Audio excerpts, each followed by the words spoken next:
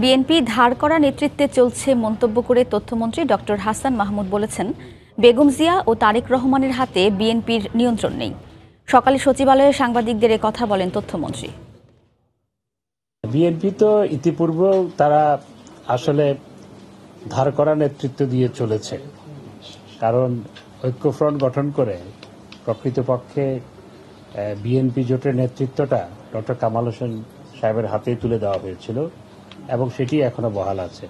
প্রকৃতপক্ষে বেগম খালেদা জিয়া বা তারেক রহমানের হাতে হাতে এখন বিএনপি নেতৃত্ব নাই। তাদের এই সিদ্ধান্তহীনতার কারণেই আজকে নানাজন নানা কথা বলতে পারছে। উপরের বিষয়, সেটি তদন্তাধীন। দুটি তদন্ত কমিটি হয়েছে।